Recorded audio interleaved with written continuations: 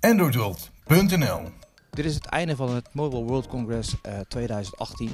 Eh, weer vier dagen met heel veel tech, persconferenties, gesprekken, ehm 16.000 passen per dag en eh, heel veel stukjes tikken. En ook dit jaar was het weer grandioos, maar we weer niet heel de beurs kunnen zien. Wat was het belangrijkste in deze dagen?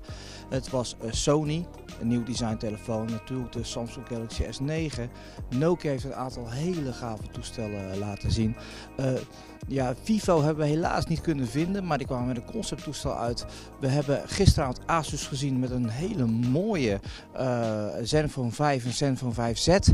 Ehm, ja, al met al weer genoeg materiaal om de komende tijd naar uit eh, te kijken. En eh, we gaan natuurlijk heel veel testwerk verrichten, want we zijn vooral benieuwd wat de Nokia's doen en wat de Zenfones doen. Want in dat segment is er heel veel gebeurd de laatste tijd.